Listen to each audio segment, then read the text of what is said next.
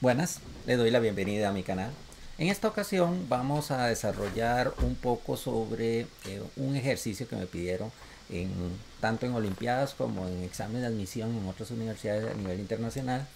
Es un ejercicio de números reales, bastante interesante aplicar todas las fórmulas, pero antes que todo vamos a leer nuestra frase de hoy de Albert Einstein, que indica que las matemáticas puras son en su forma la poesía de las ideas lógicas. ¿Qué quiere indicar eso? Recordemos que la matemática pura es la estructura eh, formal de las matemáticas. O sea, es el proceso demostrativo de todas las fórmulas que conocemos. Entonces es la investigación de nuevos métodos para la aplicabilidad de esa ciencia pura a lo cotidiano. Eso es lo que él quiere establecer. ¿Por qué ideas lógicas? Porque lo primero que tenemos que tener es una hipótesis, un proceso y ese proceso tenemos que buscar la manera de calzar todas las fórmulas, los postulados y los ejercicios en una manera más sencilla a la hora de desarrollarlo. Entonces vamos a ver el ejercicio. Veamos este ejercicio de un nivel intermedio. Creo que es bastante, bastante importante que lo, que lo interpretemos. Eh, dice, determine el resultado, un resultado congruente al siguiente número real. Uh, está bastante interesante. me sacan la raíz cuadrada de 4 y lo sacan en 2. No, eso no se puede hacer, ¿verdad? Lo que tenemos que desarrollar es buscar qué metodología vamos a implementar. Muchas cosas en matemáticas, como dice que la lógica de, las cosas ideales, eh, tenemos que como transformar elementos que conozcamos. Este 4 yo lo voy a transformar veo que todo tiene como una raíz de 2, o sea, una aplicación de raíz de 2 ahí extraña que la tenemos que desarrollar. Entonces lo que voy a hacer es transformar este 4 de una manera interesante, como decir 2 raíz de 2 por raíz de 2. Porque 2 por 1, 2 y 2 por 2 es 4. Raíz de 4 es 2 por 2 es 4. Vea qué interesante. ¿Por qué lo hacemos así? Porque yo lo que necesito es descomponerlo de una manera, una estructura. Repito, hay muchas formas de hacerlo, pero me están pidiendo que sea congruente a uno de esos elementos. Yo veo que hay dos elementos ahí. Ahí la diferencia no creo que sea. Eh, lo hacemos por concepto de descartes, porque estos dos no creo que sean. Ya porque en, en el principio no hay ninguna diferencia, no hay ningún negativo. Entonces, desde ahí descartamos dos opciones. Eso es muy típico cuando son selección única. Lo que hacemos aquí ahora es sacar un factor común. ¿Cuál es el factor común? El raíz de 2. Entonces sacamos un raíz de 2, me quedaría 2 raíz de 2 más 3. Al sacar raíz de 2, recuerde que eh, lo quito dentro de los elementos que tenemos ahí. Ahora, ¿qué hacemos, profe? Y ahí esta raíz lo voy a meter acá. Bueno, entonces me queda raíz. Hay una ley que dice que 2 por 2 se multiplica los índices de acá. Raíz de 2 por raíz de esta expresión que quedaría aquí. 2 raíz de 2 más 3. Entonces, esto es igual a decir 2 por 2 es 4. Raíz cuarta de 2. Ya tenemos el primero. Por este elemento de acá lo vamos a tener que descomponer. ¿Cómo lo descomponemos, profe? Porque yo no puedo multiplicar raíz de 4 por un raíz de 2. O sea, que no me van a quedar casi el mismo contexto.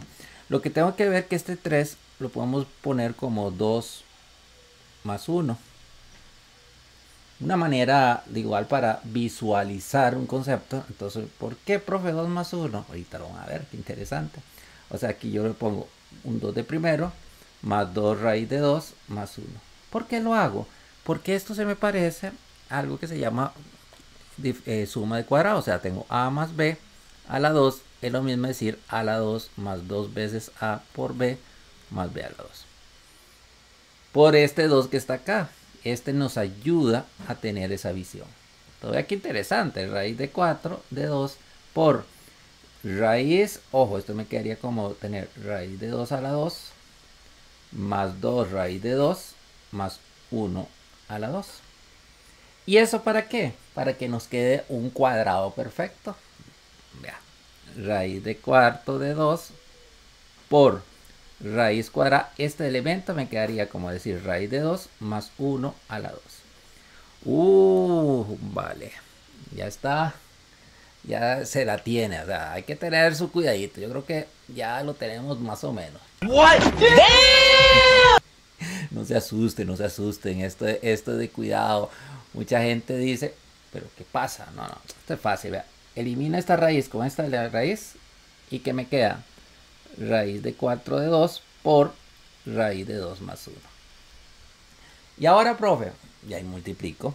Hay una ley que dice que cuando yo tengo que multiplicar las bases, eh, estas, estas tienen que ser de igual potencia.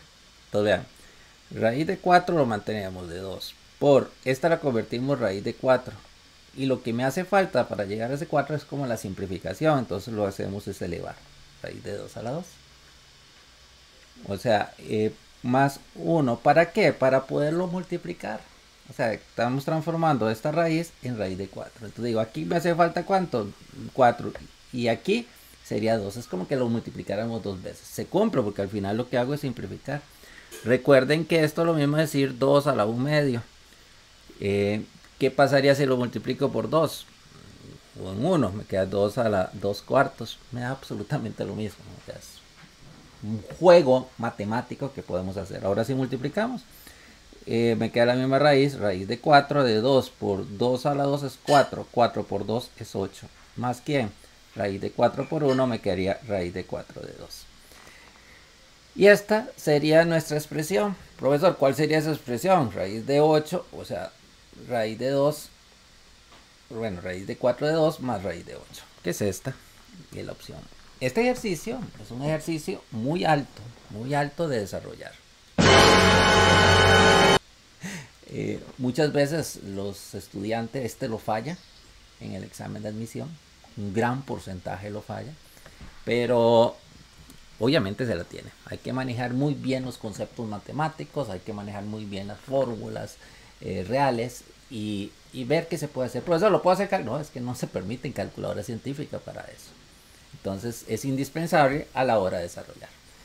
Eh, vean que es realmente una forma de visualizar, de analizar, de interpretar todo lo que tenemos. La matemática es de cuidado, tener mucha calma, tener mucha una noción, como lo dijo Einstein, es la lógica del, momento, la lógica de las, de las observaciones, pero tiene sus procesos. Bueno, muchas gracias. No se les olvide suscribirse a mi canal y nos vemos en la próxima. Chao.